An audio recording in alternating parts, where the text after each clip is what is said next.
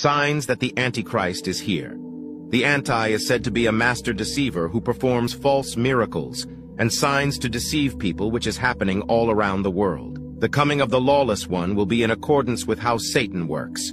He will use all sorts of displays of power through signs and wonders that serve the lie. The Antichrist will deny the divinity of Jesus Christ and reject him as the Messiah. Who is the liar?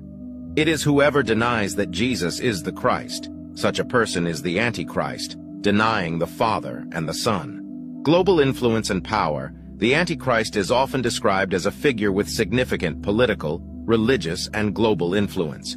It was given power to wage war against God's holy people and to conquer them, and it was given authority over every tribe, people, language, and nation. The Anti will introduce a system where people will be required to receive a mark on their right hand or forehead as a symbol of allegiance.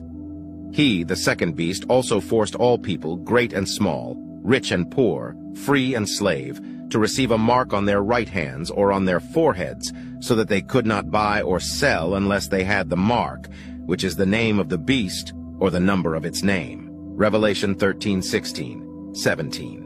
Once this happens globally, it's a sign of the end times and it's in the testing.